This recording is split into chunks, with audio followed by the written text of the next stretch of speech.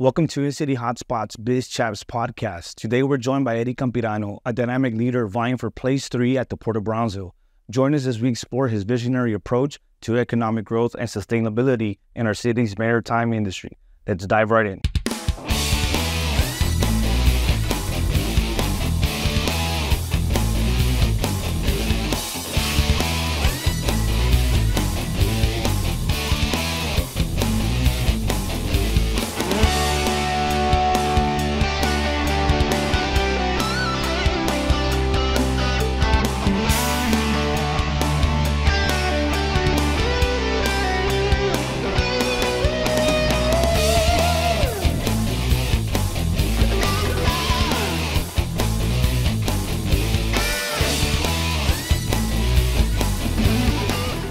Eddie, uh, good afternoon. Welcome. Uh, thank you for joining us here at uh, our Biz Champs in City Hotspots podcast. We're excited to have you today.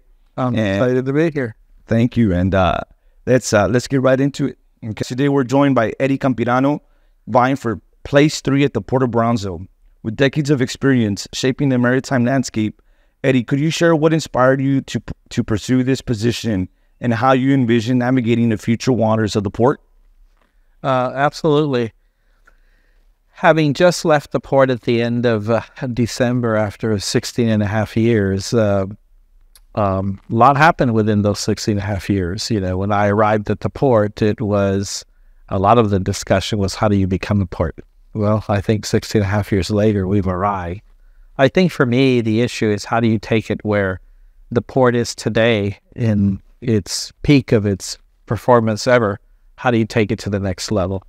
And so I think there's still a lot that needs to be done to do that. Uh, uh, Port has enjoyed great success uh, these last few years. Uh, it is thriving. Uh, it has become a busy center of commerce. Uh, a lot of jobs. It's the largest industrial employer in the region. You know, over 5,000 people work at the port.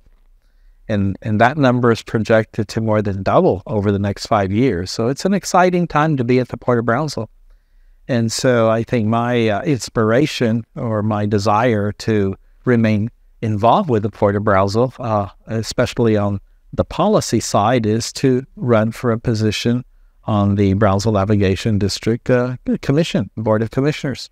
And so I filed uh, to do that um, uh, this year. I think that a lot of the experience that I have gained throughout my um, uh, career uh, in, in various, both in the public sector and in the private sector. And certainly uh, what I've learned about the port and, you know, learning this from the ground up over the last 16 and a half years, uh, it really makes an impression on you. Uh, there's something about the port that's just special. And I certainly want to see it continue to succeed. And uh, like I said, I think the, uh, the biggest issue is to ensure that we remain uh, working towards the goal of, of, of continuing to grow and continuing to bring business to our community, uh, making a significant regional impact. You know, jobs are critical. And one thing about the port and the maritime industry is not a minimum wage employer. And those are the kinds of jobs we really need to kind of lift that tide, if you will. You know, a lot of those jobs out there are jobs that, you know, a family of four can, you can save money to send the kids to college, you can buy a home. Uh, it's not a service job. And so consequently, uh, it has a potential to just be a huge, huge uh, benefit to the region, not only economically, uh, but certainly in the terms of uh, um, improving the living conditions for so many people in our region. Eddie, with your extensive background spanning various pivotal roles within the community, from city planning to port direction, your qualifications are undeniable. Can you delve into the specific experiences and skills that make you a suitable candidate for the important role of port commissioner? Well, I think one is that I have had a very um, varied and diverse uh, career, not only in the public sector, but certainly in the private sector as well. And I've had, you know, I have over 40 years of extensive executive management experience uh, in leadership roles, uh, not only uh, leading organizations, but working within organizations. Um, I have an extensive, uh, you know, community participation background. I've done my civic duty, uh, and so um, you know, I think I have the skills necessary to, as the moniker says, navigate the future waters at the port. You know, I understand budgets. I know how to put them together. I know how to read them. I know how to succeed with budgets. Um, uh, same thing goes for projects. You know, the port industry is a very capital intensive industry. Nothing out there is cheap. Building a dock, you know, it's not something you do overnight. Uh, I have project management experience. I've got experience with grant administration. Um, you know, I've been part of uh, negotiating multi-billion dollar contracts.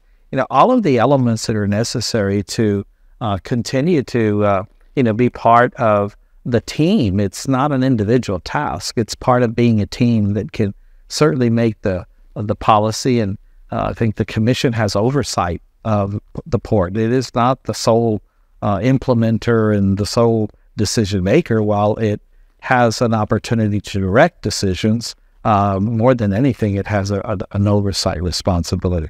And, and certainly the financial matters of an organization are probably the most important uh, aspects of oversight that are necessary. So uh, I believe I have the experience and understand uh, and, and certainly um, uh, can direct and, and be part of a team that can certainly provide the adequate guidance and, and oversight necessary to keep uh, the, the port uh, in, in a prosperous role. Addressing the challenges ahead is vital for the Port of Brownsville's continued success. Eddie, could you shed light on what you perceive as the most pressing issues facing the port and what strategies do you propose to tackle them, drawing from your wealth of experience? Well, I, again, I think the biggest challenge is how do you take advantage of where the port is today uh, to keep focused on uh, continued growth.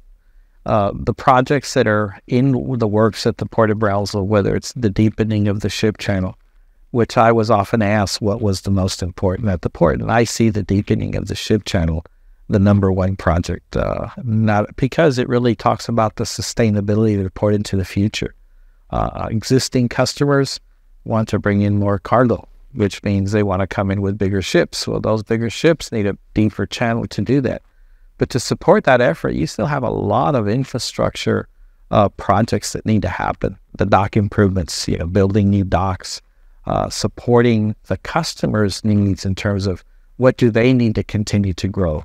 And so all of those elements, I think, are just critical. I think strategically, the most important thing is to be prudent uh, in not only in how those projects are implemented, uh, but they're done uh, with the fiscal prudency that's necessary to, uh, again, stretch the port's finances. Uh, one of the things about ports is that ports are unlike other, they're not like the city or the county. Uh, ports don't have a, a, a direct revenue stream that is supported from the government, you know, no sales taxes, uh, property taxes are minimal. Uh, there is no funding directly from any federal or state agency. So ports have to operate like a business. Um, you essentially have to generate the revenue not only to operate but also to undertake capital improvements. So uh, it really is. It's it's kind of one of the things about a port that I find fascinating. That even though it's a governmental body, it has a very entrepreneurial spirit. And the Port of Brownsville is what you would describe a landlord port. A port owns a lot of land. And so that land is utilized by private sector businesses to develop their facilities and to implement their businesses. And from that business, then the other part of the component is the maritime side, meaning vessels and boats coming in and out. You know, all of those facilities necessary to support the loading and unloading of a vessel. Well, that's the other part of the revenue the port receives. You know, the the channel, the ship channel, uh, is like a toll road. You know, the a vessel has to, you know, pay a toll to be able to come use it, land at a dock, unload its cargo. For every day it's there, it is paying to the port revenue. Uh, the cargo that moves off and off the dock also pays revenue. About 75% of the revenue that the port generates uh, is derived from the real estate of the rent on the land and the use of the port facilities to load and unload uh, cargo ships. So uh, all of that has to function, has to be kept up with the growth necessary by our tenants, and and so all of that is, I, I think, is is again a very important, uh, especially as it relates to what is coming in the future with these large projects, and deepening uh, the ship channel is key uh, to much of that growth that is projected for the future. Achieving economic growth while preserving the delicate environmental balance is paramount for sustainable development. Eddie, how do you envision promoting the robust development of the Port of Brownsville while conscientiously balancing environmental concerns, given your extensive background in strategic planning and management? Well, I think, you know, I think you kind of, you said it, is how do you find that balance between being able to provide um, you know, economic progress while at the same time being a good steward of the land. You know, the port is the largest landowning public port authority in the United States. It has 40,000 acres plus of land. Yeah, that's a lot of land. But because the port owns all that land doesn't mean it's going to develop all that land. In fact, I would venture to say that probably 60 to 75% of that land will never be developed. And part of it is because the environmental sensitivity of that land that does not mean that that land has no value. It does. One of the things that the port is fortunate is is that it owns enough land that it can insulate itself from having other type of growth beginning to encroach on the port and creating conflicts. Uh, you're not going to see an industrial facility in your backyard because where those facilities should go is the port. They're not going to go to in the middle of town. They're not going to go you know, surrounding residential neighborhoods. So that land footprint allows the port to be selective with the kind of industry that can come in, but it won't necessarily have to deal with conflicts with the neighbors. The other part about it is because it is a large landing port, owning port, is that when there are issues that impact the environment, you know, there are ways to mitigate that impact. Uh, for uh, and and a lot of the the development that occurs at the port is heavily regulated by the federal government, and environmental is one of the biggest. So somebody just can't go and start digging a hole in the channel. Somebody just can't go and start building on port land. A lot of that falls under government scrutiny, federal government scrutiny. And the vast majority usually is dealing with environmental concerns. Uh, for example, some of the projects at the port, uh, they may have a large project, and there may be what they call wetlands that they would disturb or they would need to use.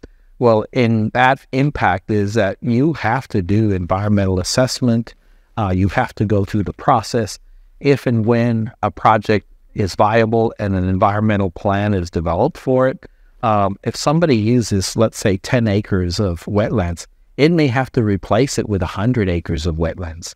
And so, and it can also be used to enhance other areas that can make those wetlands better and more productive. So there is finding that balance. I will tell you, the Port of Brownsville has been successful in numerous environmental stewardship programs. You know, the Bahia Grande project, you know, that was done because of the port. The land that was dedicated to actually flood the Bahia was through port property. Um, there was another uh, project way back in the 80s, there was going to be a refinery built at the Port of Brownsville. And as a way to mitigate that refinery, um, the port set aside over 4,000 acres, 4,200 acres of land that it entered into a lease with the U.S. Fish and Wildlife Service for 40 years to basically preserve that land. Well, one of the projects, the large LNG project in this case, not only took that concept, but also provided about 4,000 acres in mitigation, both wildlife and for wetlands. And part of that on port owned property is 1,500 acres was put in a conservation easement that it will never be developed in perpetuity. And that was a win win because it set aside valuable real estate or valuable land that's environmentally sensitive that will never be developed. But, but the port was compensated for taking that land and putting in that perpetual, uh, perpetual conservation easement. Well, that was to a tune of $22.5 million.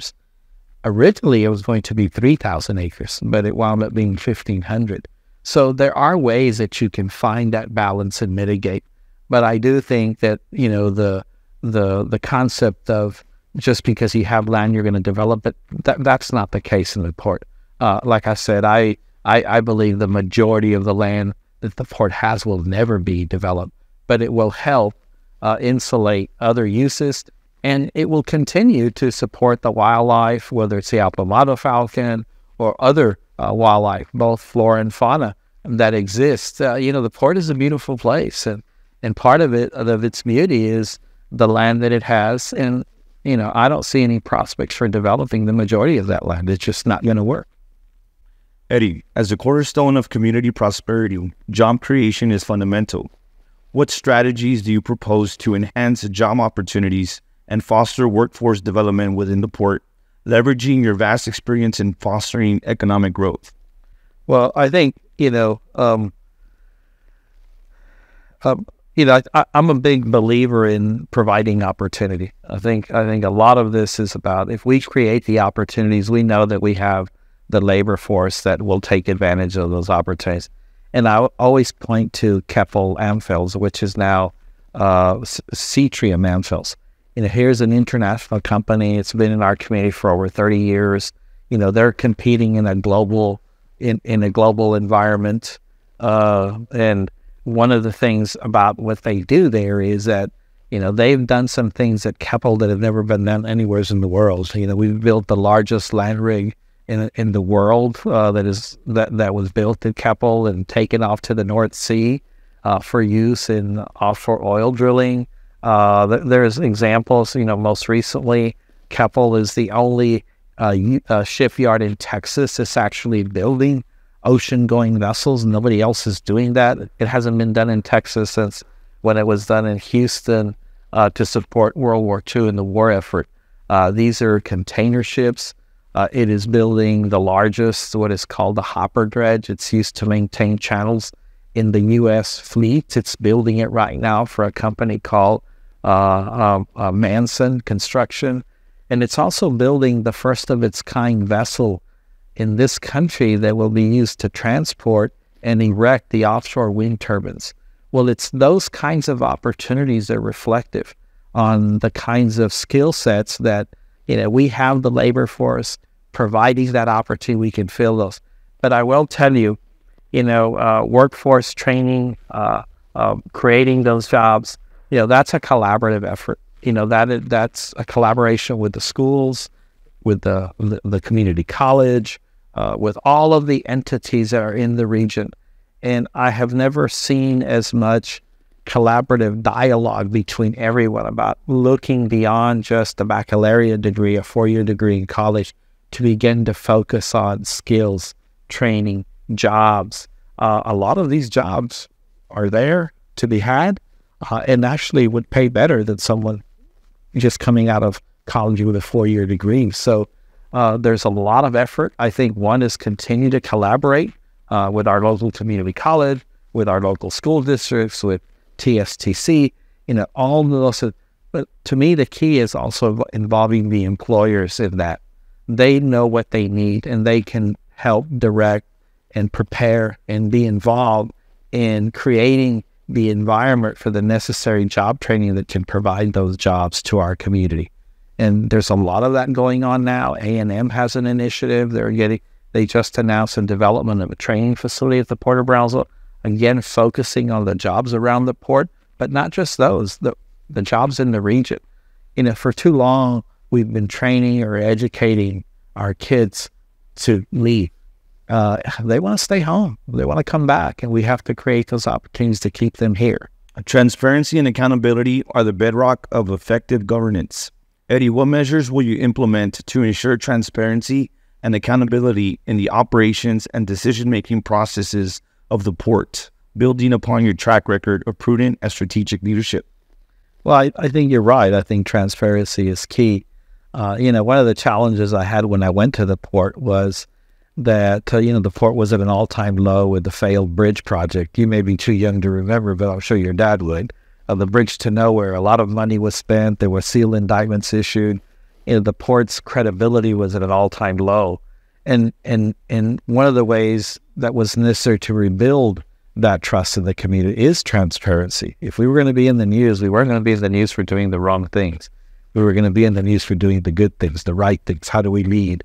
Uh, and so uh, I think that effort is paramount. You know, communication with the community, developing tools to continue to do that, educating the community. You know, one of the things that really changed our lives, and the ports are no probably impacted significantly from this. Well, 9 11 had changed the way we live. It used to be a time when you can go to the port and see what was going on. Those days are over. You know, the port is a secure facility. It comes under the federal government's rule. So you just can't go into the port and see what's going on. Uh, finding opportunities to get people what I call, you know, get them behind the curtain into the belly of the beast to see what's happening, doing more of that. The port has done that. You events at the port, uh, you know, boat tours at the port, uh, you know, bringing in people to see what's actually going on. But I think the biggest thing that goes about being transparent is also how do you manage your budget? You know, how do you fiscally uh, exercise your right uh, with the use of taxpayers' money? And that has to have an element of transparency that you know gives people confidence in what is happening there. Um, you know, they can be assured that their their resources, the community, are being used in the right way. Um, there are laws, there are regulations, there's independent uh, auditing principles that are applied by outside auditors that come in and write your books. And of course, the port has a whole series of policies that it itself has to follow and implement, whether it's in procuring services and products, whether it's how it makes decisions to spend. Uh, there are limits set on who can make a decision to spend what amount. And ultimately, the commission and its responsibility for fiscal oversight is the final entity that would determine how it's going to make its expenditures. And all of that has to be done in a public setting. And the reporting of that also has to be open and, and available for the public inspection. All of that needs to continue. That doesn't mean there aren't ways to uh, improve that process, both on the accountability side as well as on the transparency side. And I think as we continue to grow, as the port continues to grow, you're going to see more and more of that, not only because people will demand it, but, but simply because it's good business. And so I, I personally believe that you will see that to continue to evolve because, again, it is good business. And if you can't be in partnership with your community, you know, your business is in trouble. Innovation drives progress and efficiency. Eddie, how do you intend to foster a culture of innovation and drive technological advancements within the operations of the port, utilizing your experience in embracing innovation to achieve strategic objectives? Well, I think one of the things that ports are going to, their ports are evolving just like anybody in the industry. And there are some huge uh, efforts going on in ports. Probably the biggest uh, innovation you're going to see in ports is going to be uh, looking at alternative uh, uses of fuel. You know, uh, looking at electrification as it relates to operating large equipment for loading and unloading. You're going to see a move. It already is happening in the major ports of the United States. It's obviously happening abroad. Uh, you're going to see that becoming more and more the norm in the port industry. And a lot of that also means working with your tenants, your customers. Uh, you know, they like, for example, the port doesn't unload the vessels. The stevedores unload the cargo. Uh, they're moving away from the technology and they're moving more into technology, more efficient equipment, greener equipment, electric equipment. Electrification of the docks is going to be necessary as we begin to see this evolution of moving away from from uh, um, uh, you know hydrocarbons or green uh, green um, um, um, gas fuels and moving it non-green uh, non uh, um, um, uh, you know, hydrogen and ammonia and things of that nature. All of that is going to be developed through innovation, and ports are going to have to live out with the times. I mean, it's going to be it's going to have to be uh, the federal government is going to be mandating some of those. Uh, state government may move slower than the federal government will, but those are going to be the environments that ports are going to have to move into. And that means you have to prepare both in terms of training and the ability to implement those new procedures. And you're beginning to see more and more of that. In some of our tenants, we're going to see more automation going on in the port industry. Uh, I think you're starting to see some of that in some of the larger entities, you know, finding more efficient ways uh, through automation, not necessarily replacing employees, but you're going to see that impact of automation in the port industry as well. Uh, and you know, you, you, I mean, the ports are going to have to pivot. They're going to have to keep up with the movement of the tenants, uh, with the industry, and the maritime industry is going to be a leader in a lot of that innovation that's going to occur uh, as we see our community move away from you know uh, um, the the dynamics of you know doing things the way we've always done it. Remaining competitive in the global market is essential for the port's continued success. Eddie, how do you plan to ensure that the Port of Brownsville remains competitive and adapts to evolving market dynamics, drawing from your experience in strategic planning and positioning? Well, I think the biggest thing is that the port has to assure the users that the services and the infrastructure and everything that they need to succeed here is provided. Uh, you're not going to remain competitive if you price yourself out of the market. You're not going to be remain competitive if you can't provide the proper services or equipment necessary to unload the ships. Uh, you know, the, the more and more you drive that cost up for the user, the more and more they're going to look elsewhere uh, to receive that service. Um, and you know, ports are ports are in business to allow other businesses to to grow. And I mean, you know, again, uh, you know, if if a if a particular business leaves, or one of the things about let, let me kind of talk a little bit about the global environment. You know, things that happen around the world. You know, we live in this global, and we talk about, oh, we live in a global economy, but we don't really, do we? How, how do we feel it? You will feel it at the port. I'll give you one very specific example that's in everybody's minds right now. February 22nd of 2022, uh, the invasion of Ukraine. The port immediately felt that because before that happened, most of the steel, steel slab that is coming into the port was coming from Russia and Ukraine. Well, that stopped. So we saw a dip in the business. Now, it took some time before those shippers of that slab found other sources to be able to bring it up again. But you feel it immediately. There can be a decision made in some foreign government that affects the business of the port. Decisions made in Mexico could immediately impact us because so much of what the port does is trade with Mexico. If the Mexican president says we're going to stop this, it affects the port, you immediately feel it. But the same thing can happen if it happens in Europe or Asia and other places.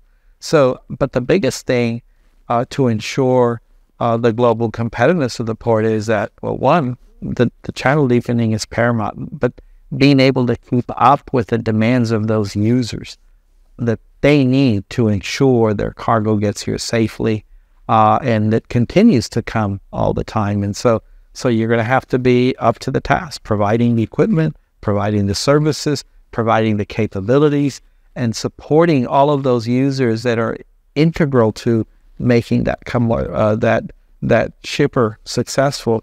Uh, uh, you know, we all have to work together to do that. So um, it's it's a task. It's a task, and uh, uh, but you know the the the the people at the port who are in that business, you know, they match up with anybody else. And so, uh, you know, again, you know, so much of what the port needs to do is to ensure that all of those individuals that it takes to unload a vessel, that they got all of the necessary services and the infrastructure the port needs to provide adequate to allow them to do that job.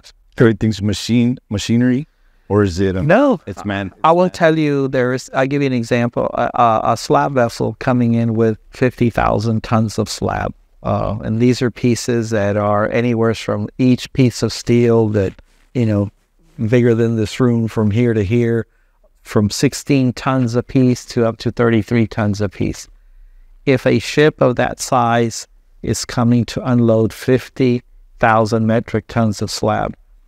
Um, it takes stevedores, the, the people that unload the ship. Well, it may take five gangs of stevedores, 20 people per gang, up to four days, five days to unload that vessel. And so it's everything from getting it out of the ship. There's a stevedore in the what they call the hold, where they hold the cargo, making sure that when the the machinery is necessary, whether it's a magnet to take that piece is done properly to get it out of the hole, the the the operator of that crane that's doing that, getting it out, laying it on the ground, putting it those stevedores that are there on the ground. From there, moving it onto a truck. From there, moving it onto the storage yard. From there, moving it onto the train. I mean, it's it's a process, and and these guys are very good at it. They know what they do. Uh, more steel slab moves through the port of Brownsville into Mexico than any other port in the United States. But it takes it takes a lot of people to make it work. Everything from a ship agent who's going to provide all the services for that ship to be able to leave, to come to the port, to arrange for the pilots to board it so they can help the captain from a foreign country navigate it through the channel, uh, to get the tugboats to be there waiting for them to help them in, to secure the dock. I mean, it is it is a process. It takes a lot of people to make it work. And so once it gets to the port and it gets to where it needs to leave the port, loading it on the railroad, getting it to the railroad, you know, loading those railroad cars, crossing the bridge, going to, I mean, it is a significant process. But you know what? That's where all the jobs are. And those are good paying jobs. Those are very good paying jobs. And so uh, that's what the business of the port is all about when you talk about the marine side of it.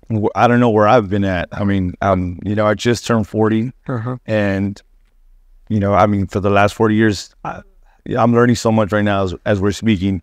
How do, you, how do, is there, you said everything has changed, right? Since yeah. after September 11th. Yeah. yeah. Um, how can there be more awareness for, for well, children, for, yeah. for youth, right? right? To, I mean, I, if I would have known this years ago, maybe I would have chosen a different path. Well, I will tell you that some of the things that the port has done and will continue to is, like I said, you know, there are days when there's celebrations to, you know, the, the 80, the, the, like the 90th anniversary of the port is coming up. Well, that's one of the few times we actually open up the port to the community and we'll open up to thousands of people to go there and see. And we do boat tours or bus tours and they can actually see what happens. There is a, there is an event that we started doing there about 14 years ago. It was part of the city's effort, the Biggest Loser deal, where we we do a five one mile 5K run walk at the port. We've kept doing it every year, and every year it grows. And the reason we did it was to really open it up to families and kids. And you know, Gabriel is very familiar with it, mm-hmm. uh, but uh, you know, we see more and more of the school running clubs coming. And it allows us to get them into the and actually see the water while they're running and see the ships that are there those are the kinds of things that you just can't do. We do find opportunities. We see more and more schools, high schools from the valley, from here, coming to see the port. You know, we'll get, they're giving tours. Uh, uh, you know, we have those events where we can open it up. Uh, so more and more needs to occur because you just don't get an appreciation about what happens by simply driving past it on the way to the island. You don't. And and I think that's the part that opens everybody's eyes and goes, I have no idea this was going on. When I went to the port, I thought, hey, you know, I've been involved with municipal government. I'm from here. I know I know what's going on. I, I didn't even know half of what was going on at the port. You know, that's what's fascinating about the port. And, you know, I, I think not only our community, but the region is finally coming to understand the importance of having a, a facility like that in our community because they you just don't have them everywhere. You know, there's just a handful of ports to, you know, when you measure to a handful of, of cities or a handful of counties. Uh, uh, it's it it and and they're all you know economic drivers in their own region. Some huge, some small, but they all play an important role. And uh, finding ways to again get the community you know, behind the curtain to see is always a challenge. But there are occasions that do occur, and, and, and the port takes full opportunity of doing that. Now, separate from these community, big community events that give opportunity, right, um, for families and, and, and the youth, like you said, the port is just a handful of ports, right? Um, we also have just a handful of um, field trips mm-hmm. that you know become repetitive once in a while. Yeah. Is this an op- is it is there an age minimum for field trips? Is it geared more for like middle school and high school, or are elementary? Is this safe enough for elementary? It's too often Yeah. used as field I trips. think I think all of them are different. They're logistically different. You know, I can tell you that the the port has received uh, buses with kids that can go see the port. Now, there's things you can and cannot do. I mean, you know, when you talk about going to see the port, if it's in a school bus, you might drive and go to see where things happen and actually get to see the dock and all that, but you don't get off the bus. You know, that's the one thing about that that is very uh, difficult to do is to you know get people out to you know go see it and do it. But you can. I mean, the port does field trips for schools, not in mass, but you do get. I mean, I, I know there's schools that come from Mission, from Pharr, from Harlingen, the Brownsville schools. The the port has a cooperative agreement with BISD uh, for workforce training, as well as adult education and training. So, and and those individuals in those programs get to come and experience going through the port and seeing the port and doing it. But, you know, um, those things can be done, and I I, I know I encourage them. Um, you know, I know the the members of the commission encourage them too. Uh, and you know those occasions and those opportunities do exist, but you know you have to work together with the entities to make it happen. Correct. I agree. Financial management is crucial for the uh, sustainability of the port. Eddie, what approach would you take to effectively manage the port's budget and financial resources, ensuring fiscal responsibility and stability? Well, again, I think well, what I understand the process. I only I only had to go through that process 17 times in my 16 years there of the budget process and everything that goes into it. But I, I, I you know, it gets back to again, you know, you exercise prudent care, make prudent decisions.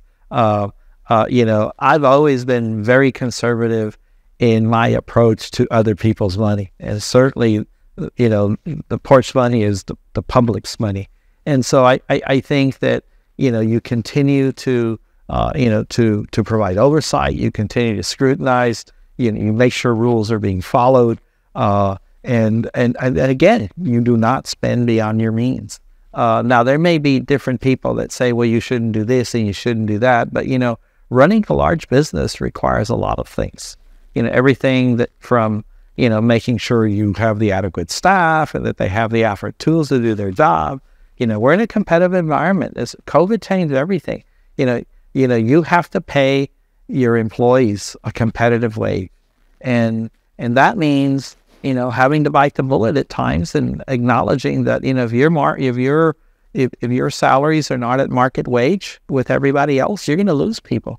Uh, and you know the hardest thing to do is replace a good employee. You know, if somebody has worked for you for more five years, you've made the decision that employee is a good employee. We want to keep them. Well, you know, I think what COVID showed is everybody had to up their game. You know, you're going to have to compet- pay a competitive wage because people have choices now, uh, and there's a lot of jobs at the port. The port itself as an organization is one, but everybody else too. And so, um, again, I think being prudent, um, you know, exercising fiscal responsibility, uh, you know, making sure that uh, you know there are mechanisms put in place to uh, to adequately uh, monitor how money is being spent, how the budget is being executed, and again, that's one of the things that the commission has ultimate oversight and authority is. You know, how is that money uh, actually being spent? They approve the budget. You know, you you you amend the budget as necessary. Uh, you can uh, um, authorize projects to be implemented. All of those decisions occur at the commission level, and you know, again, I, I know that process well. I know it intimately, and and then I, I believe that I can certainly bring uh, what is necessary to ensure that you know, the port continues to make good decisions with its money. And and budget oversight is a key responsibility. I think that's one of those things that you signed up for for that for that judiciary, the the fiduciary responsibility to be a steward of that money and, and, and, make sure it's done prudently and, and, and it serves uh, the interests of the port and, and it's necessary. Security and safety are paramount concerns for any port. Eddie, how do you plan to enhance security protocols and ensure the safety of operations at the port, drawing from your experience in risk management and operational safety? Well, one is uh, you know, there's different levels of responsibility. Um, on this on the safety of, you know, the port and access to the port, you know, again, that falls under Homeland Security rules. Uh, in fact, uh, and and the, it is the responsibility of the port to ensure, uh, you know, to have certain measures uh, that, you know, basically screen who is coming in and out of the port. I mean, that's all part of the 9/11 response. Um, the port of Brownsville is one of only two, maybe three ports in the state of Texas that actually have their own police department. So those police officers at the port are are police officers that have all the credentials and certificates and licenses, just like if they can be a police officer in every any entity, any law enforcement agency in the state. Uh, but they're they work for the port. It's not a contracted service. Same thing goes with the security personnel. Those are all employed. The, the port is responsible for screening everybody that goes in and out of the port to ensure that the land footprint of the port is secure. Within the port, you have entities that also are responsible for security. You just can't walk into any business. So everybody has a certain level of responsibility that needs to be met. Um, if you're in the energy business, for example, if you're you know handling refined product like the gasoline terminals, uh, they have to have their own security plan. They have to have their own security standards. They have to have their own uh, security to ensure that that facility uh, is always uh, meeting the federal requirements for standard of care as it relates to security access. So all of those components come into play coordination. There's a lot of coordination between the port and the federal agency, primarily Customs and Border Protection. You know, ships coming in, uh, they have to be inspected. A ship just doesn't show up at the port the next morning. You know, it has to come, it has to be cleared, it has to be inspected by the Coast Guard, it has to clear. Uh, if it's a foreign flag, you know, a Custom and Border Protection, when it gets to the dock, it has to be boarded. It has to also be inspected. Uh, the police department is responsible for once it hits the docks to maintain the security perimeter of that. So all of those things are part of what is necessary. Now, that's the security part about it. The safety issue, you know, that's a whole different matter. But I will tell you that because of the nature of the types of businesses that are at the port, you know, there's a lot of stuff that goes on there, and it can be a dangerous place to work. But I know with the with the businesses at the port, with the stevedore agencies, it's a culture of safety. It it it is constant safety. Uh, it because again, all it takes is one misstep or whatever, uh, and you can have a serious accident, something serious. So I I know a lot of those. I, I have been to some of their safety meetings. Uh, the port, the same thing. You know, it's you know sa- safety has to be a culture. It's not something you do every once in a while. It has to be constant. Uh, most things happen because of human error. And so how do you how how how do you prevent that as best you can? It's just constant, you know, safety enforcement, safety training, uh, you know, adequacy, uh, making sure that everybody, uh, you know, uh, the goal of every employer is to get their employee home at night to the family. And so everybody, it's it's a team effort. You know, you know, some have it better than others. Um, but but safety is a culture at the port. It really is, uh, because those entities uh, who are involved in in certain activities that you know require uh, you know um, uh, you know if something goes wrong, it can be serious consequences. I mean, they they, they just have to preach it uh, as a culture of the company, and and a lot of that goes on at the port. Compliance with regulations is essential for maintaining the port's operations. Eddie, how will you ensure that the port remains in compliance with relevant regulations and standards, ensuring adherence to legal and regulatory requirements?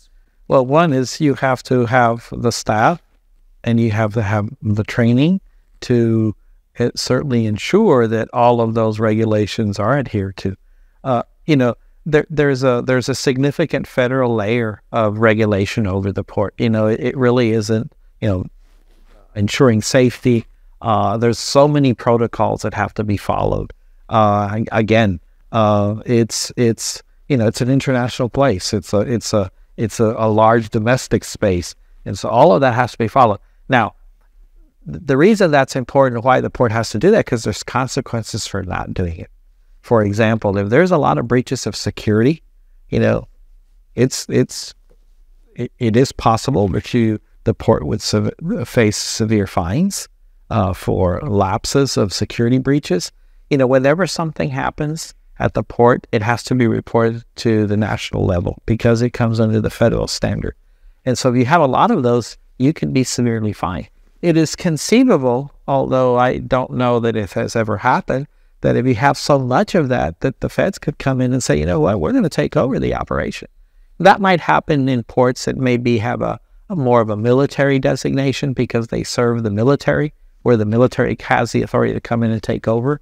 But you know, those are while it might be far fetched, those are possible. So there are serious consequences when security measures are not followed. The Coast Guard routinely inspects the port for the waterside operations, for the access to the docks, as well as its landside operations. And annually, it has to pass inspections by the federal. And if you don't do that, you know, you either have to fix the problem, or in some cases, you can be fined. Uh, and some of the fines can be heavy. Uh, I think the port hasn't experienced a whole lot of that, but it is possible. So, you know, again, it's not one of those things you just kind of, ha, okay, let's just do it once a year it is pretty constant because there's such a, a layer of, of federal oversight at the port. Um, at the state level, not as much. Uh, that's mostly on the regulatory aspects of maybe environmental with the general. When there's a spill, for example, somebody may be loading a ship and the, there's a rupture of the pipe and, and, and you know, uh, gasoline or diesel may spill it. That is a reportable thing immediately. So you have those elements as well. On, uh, and so um, you know, it's a heavily regulated environment. Uh, the port is part of that. Port has a responsibility, and some of them are regulating the businesses that are doing those at the port as well. So it's it's a kind of very layered, uh, but it, it isn't something that you know happens every once in a while. It is pretty constant. Um, um, the the LNGs, for example, um, you know, just because they got a permit doesn't mean that's it. No, they will repeatedly have to submit uh, uh, regulatory uh, reports, on how they're doing, what is achieving. you know, there's consequences for not doing that because the nature of some of those operations is pretty significant if they're not done per, correctly.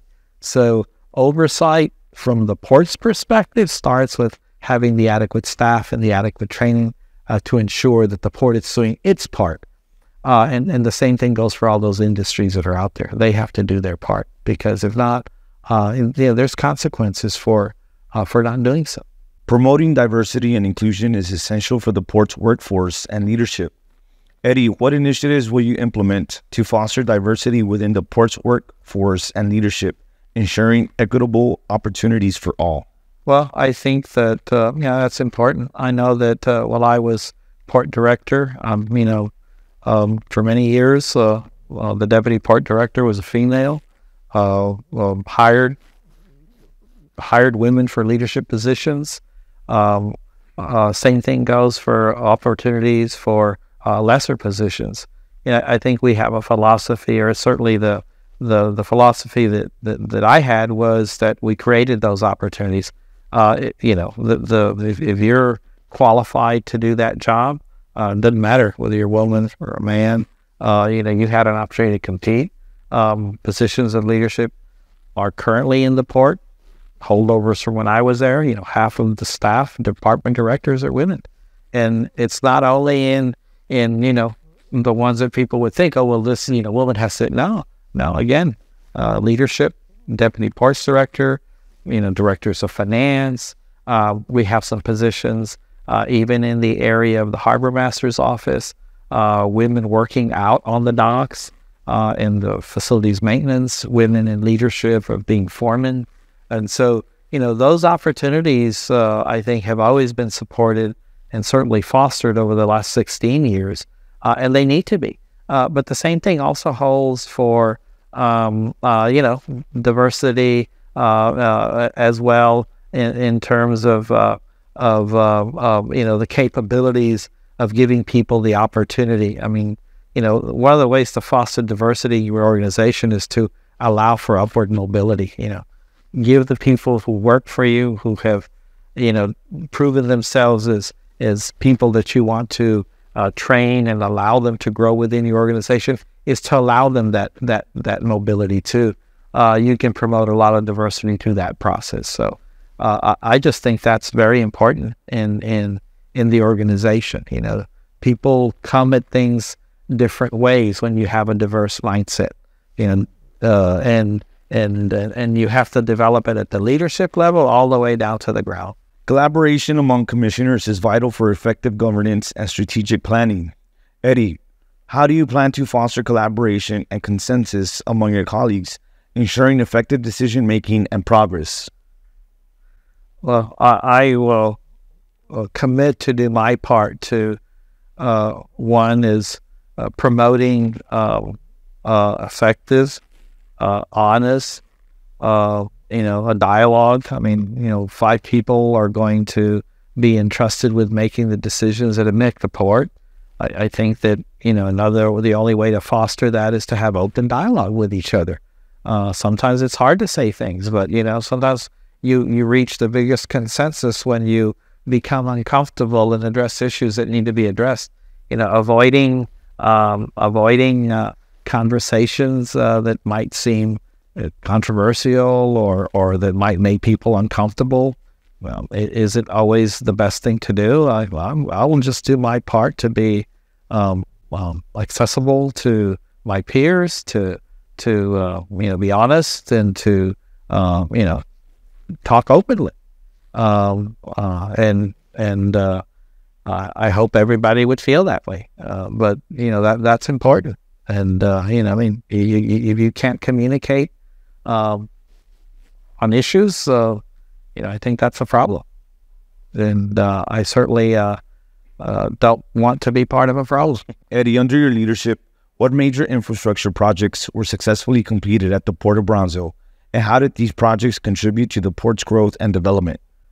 Well, I, I guess you know those that were uh, initiated and completed. Probably the biggest ones come the major infrastructure projects, such as you know the construction of cargo dock 16, um, the construction of liquid cargo dock um, uh, number six, uh, the repairs to docks. I mean, the the port last built a dock in like the year 2000. Um, in the 16 years that I was there, we built two brand new docks. We repaired four of the existing docks. We've improved the docks. You know, those are all paramount because those are so vital to the port's interest. Th- those have to be. Um, but there's been a lot of capital improvements. You know, the road repairs are all done by the port. Uh, expansion of of uh, uh infrastructure such as water and sewer line replacement. All of those have been done at the port. Uh, but probably the biggest one, because it was the hardest and most difficult to actually do, and that was the deepening of the ship channel. I mean, you know, that project took all of the 16 and a half years that I was there to see it go through the process. It's a federal process. It is something that it can, it is not done quickly. It is not cheap. And in in our country, in the United States, that process of doing is broken. You know, in other countries, you can you can get something like that done in a short order. It took from the port it was already started the process of the dialogue of the deepening of the ship channel when I arrived in 2007. And it wasn't until really this past year uh, that the project began. And and again, I believe the deepening of the ship channel is the most important project in the port's future because it talks about the sustainability.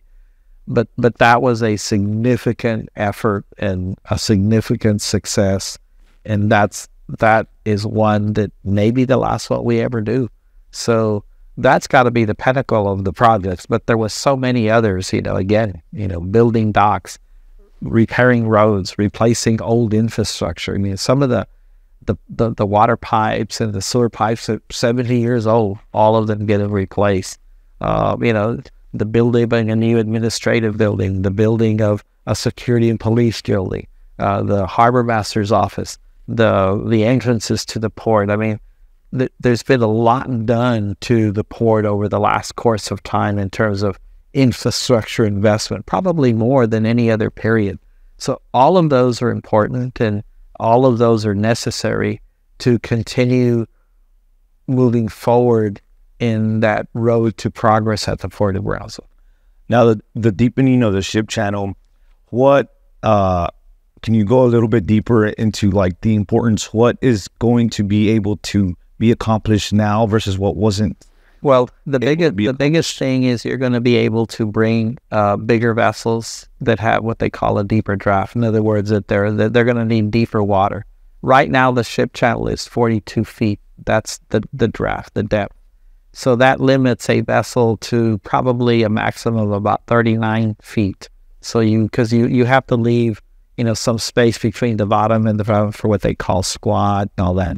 So we have a customer right now, for example, says, you know, I, I want to bring in, instead of bringing 50,000 tons of steel, I want to bring in 80,000 tons of steel. But I'm going to need 42 feet, 44 foot draft to be able to do that because for them, it's one, it's it's it's uh, it's more efficient, and then the cost per unit is so much cheaper, and so so the only way to be able to provide them that capability is having to enlarge the ship channel, deepen it. Uh, and so that's why that's so important because that customer wants to grow at the port. And if they can't grow at the port because their cost of shipping the commodity to the port continues to increase, where there's no way for them to make gains in that, they may look elsewhere to go, where another port that has deeper water. And so that's why that project's so important. Uh, the original premise, because you know it's being it's being dug from 42 feet to 52 feet. That's a substantial amount. And one of the biggest reasons for that too was AmFELS. You know, AmFELS does the offshore drilling rigs, or more importantly, there is a lot of what they call drill ships now. Uh, they they're getting away from those rigs because they have these drill ships.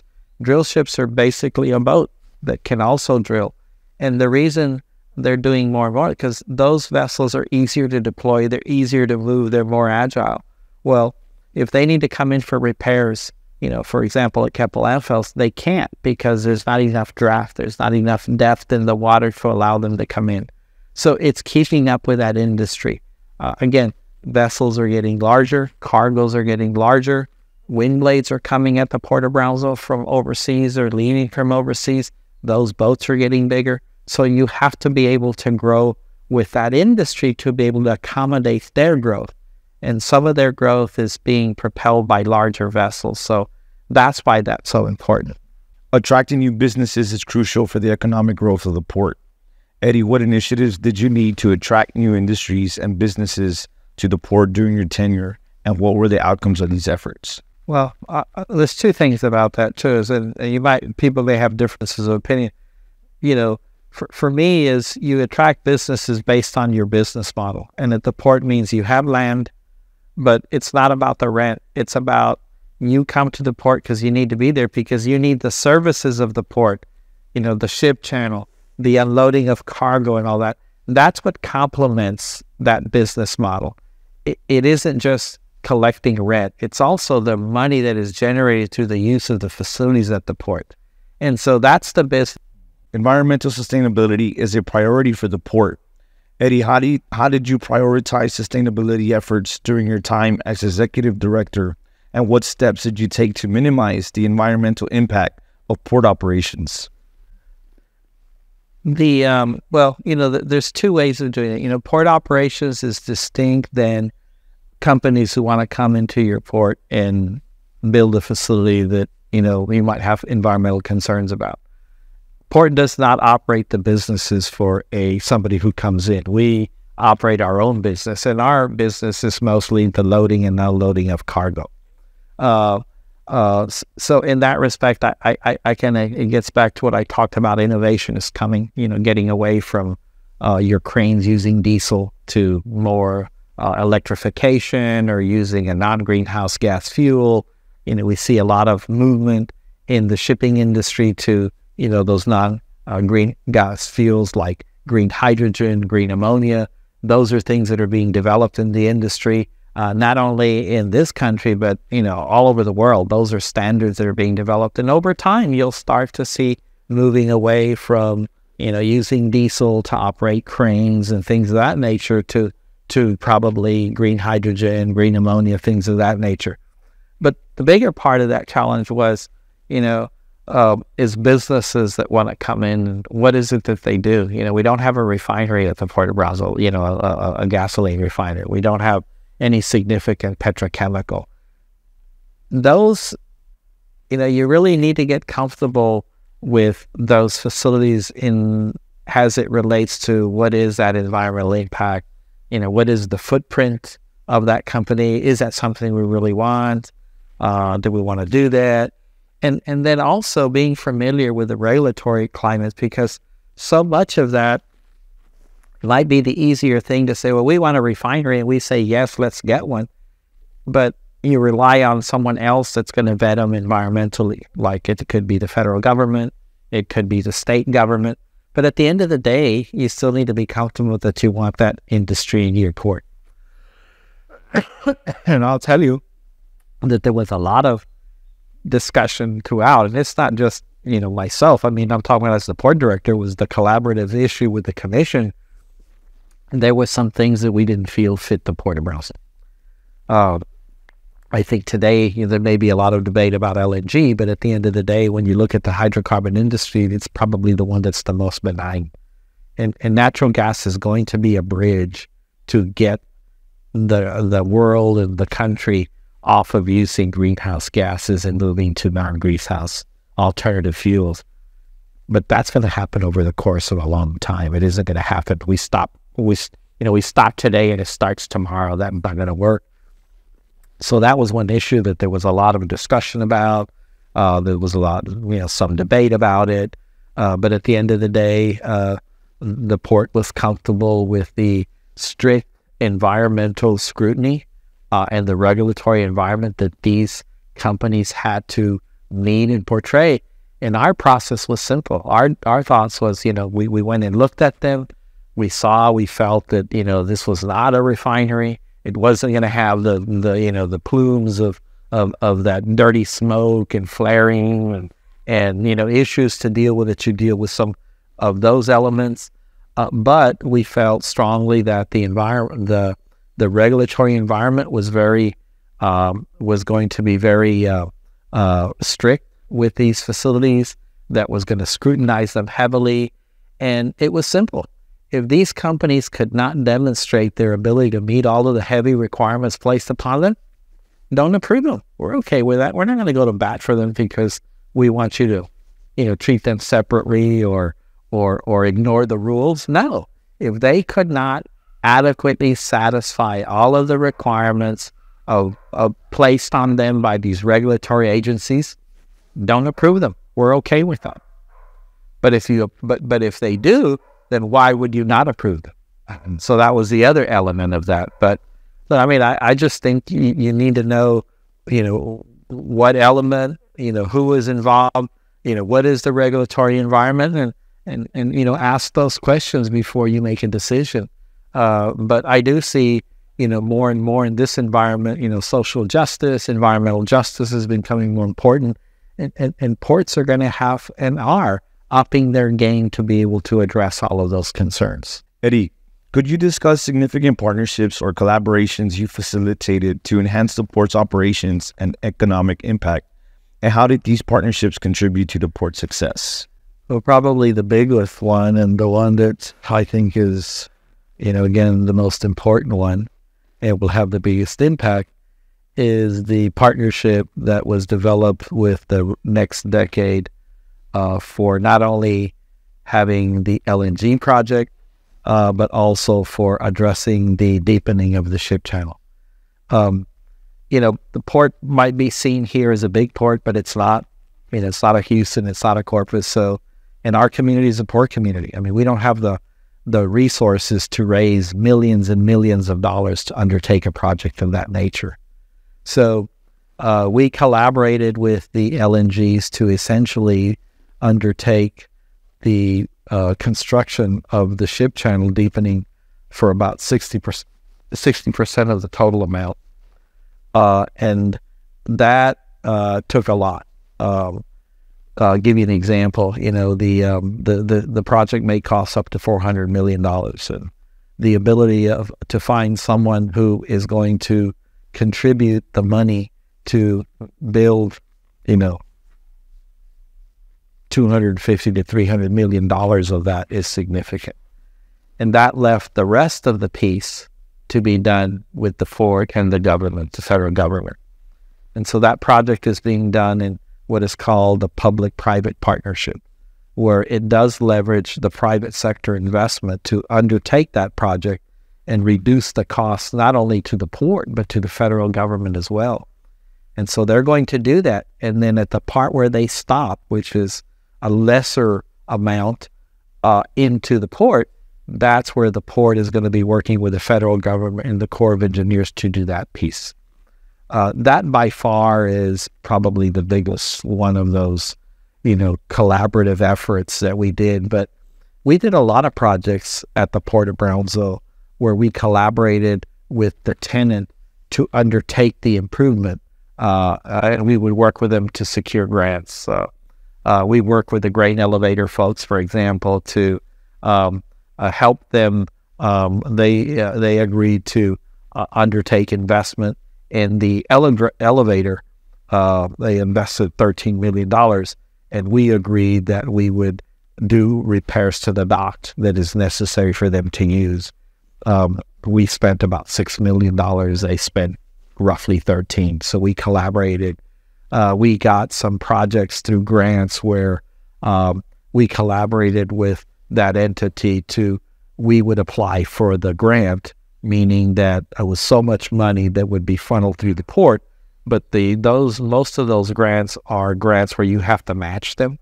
In other words, you know, you may have to provide 25% or 40% of the match to get the grant. Well, they paid for that match. They paid for the local match. So at the end of the day, the port didn't pay any money. What it did was it became the recipient of that money that made that project happen and provided them a way of being able to spend 40 uh, percent of the project, that, but they got 100% of it. In other words, for every 40 cents they put in, they got 60 to make the project happen. So the, we were always looking for ways to collaborate in that way. We did that with Keppel AmFELS. We did that with the folks at the grain elevator. Uh, we did it with some of the other dock projects. So uh, I think that's an effective way to do that. Uh, but always looking for ways. Uh, uh, we collaborated with the county on projects, with the regional mobility, with the state of Texas, uh, where projects got built, but it had a lot of participants in those projects to make them a reality. There's a road that was built at the port. It's the first we call the Southport Connector, connecting Boca Chica to the south side of the port that that 1.9 mile long road cost like 26 and a half million dollars. Well, that was a collaboration between the port, the city, the county, the regional mobility, the the the, the Department of Transportation at the state level, and the federal government uh, through the Department of, of Transportation as well. And and you know, without that collaboration, without everybody coming to the table, that probably wouldn't have ever gotten built. So those are the opportunities that exist, and and you know the port has taken advantage of those. I'm always looking willing to partner to. Uh, it's kind of that Danny DeVito deal, you know, somebody else's money. Sure, we're always willing to do that. Overcoming challenges is part of effective leadership. Eddie, how did you navigate obstacles faced by the port during your tenure? And what strategies did you employ to overcome these challenges and drive progress? Well, again, I probably probably think the biggest challenge was the channel deepening project. You know, it started with a concept that nobody believed in, and you know, we developed it, we refined it, we sold it, we demonstrated it would work, and ultimately, you know, we went everywhere. So, you know, locally, state, federal, Washington, wherever, to go tell that story about how uh, that project could occur by reversing the model of depending on the federal government to fund the project and instead have a private sector interest fund a project. And finally, after all those years of of going uh, places and trying to get Congress to allocate money to the project, uh, we got it done. And today, that project is the only navigation project being funded under this P3 model, first one ever done in the country. And it may be the model for the rest of the nation going forward. But, you know, that was persistence, you know, working going, sallying, um, you know, just this again until somebody came up with a better plan.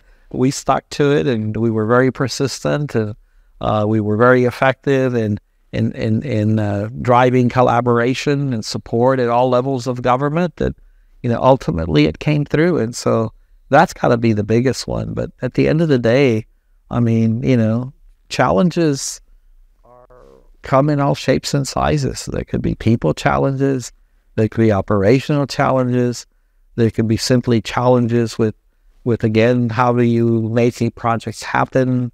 Uh, and a lot of it is, you know, if hey, if you have a good plan, you, you trust your, you've got you've got support. Um, you know, some of it is just, it it, it is just, you know, sticking with it and being persistent, uh, being confident, uh, and it will happen. Um, you know, you're not going to force something down somebody's throat if they don't believe uh, in your ability to uh, perform. So, at the end of the day, uh, you know, challenges, like I said, come in all shapes and sizes, but probably the biggest challenge that I think is most meaningful for the port was finding the way to get the channel deepening project done. And, uh, you know, I remember people telling me I was crazy, but you know, at the end of the day, guess what? We got it done. Eddie, could you discuss any awards or recognitions received by the port under your leadership, and what now what do you attribute these successes to in terms of your leadership and strategic direction? Um, you know, accolades or awards. You know, the port. You know, in in recent years. Uh, has been recognized for some of its marketing and communication pieces. Uh, I mean, the the the fact that uh, we were the the fact that we were making inroads into uh, being recognized in the state of Texas as an up and coming port. You know, where the where the port of Houston and the port of Corpus and the port of Beaumont are all aware of what is going on and and and recognize those efforts through the Texas Ports Association or through our participation with the Department of Transportation uh, I participated uh, as a member of the what they call the Port Advisory Committee at the state level. Um, you know, those recognitions uh, and appointments to me were always important awards because they may not mean they may not mean a lot to a lot of people, but in the scheme of the port industry, those are very important. Um, uh, I see there's probably a lot more, uh, you know, recognitions that you know I, I would say the port is a port community receive, uh, and mostly those are on you know being able to uh, address um, you know how uh, we begin to you know bridge that divide between the community and the port as it relates to kind of you know rebuilding that confidence in the port.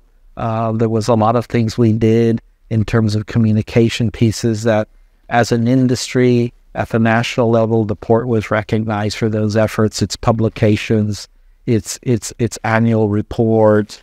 Um, probably one of the ones that was a goal of mine that we got was uh, there is a, a, a recognition that ports or governments receive, especially uh, um, um, um, you know uh, governmental entities, the city, the county. What it's called uh, a certificate of achievement by the uh, Finance Officers Association, and that is when you do your annual report, and they do what they call a CAFR or Comprehensive Annual Financial Report that has to meet certain standards, and it is judged by the um, the the the uh, the Financial uh, um, Officers Association nationwide. And if you achieve that, that's kind of a pinnacle of being the highest financial standards when we did that, that was one of the things that I wanted to do. We did that under my watch, and I think the Fort now in its it's his 13th or 12th consecutive year being recognized for financial performance. And that to me was an important award because it addressed the issues of you know, again, financial management, financial prudency, uh, never being written up for, you know, issues related to how you spend your money or how you care for it. It's just a standard that that was very important to be able to say, hey, we have it too. You know, the city of Brownsville has it, the county has it, a lot of entities. The port did not have that. Now it it it, it you don't want to be the guy that doesn't get it that one year because there's you want to be able to get it every year and the port has consistently performed at those highest standards to be recognized for its financial reporting and its financial accounting. That's probably the one that I think is the one I would think is the most the most important. Eddie, I've it's been you know I've enjoyed this time that I've that I've been able to spend with you. Um, I've learned a lot a lot more than when I came in. I learned a lot more right now than that I've learned in the last forty years, right? Um, which is fantastic, very interesting. Uh, thank you for sharing your story. Uh, thank you for sharing your experiences, right, and your credentials. Uh, it's just a great.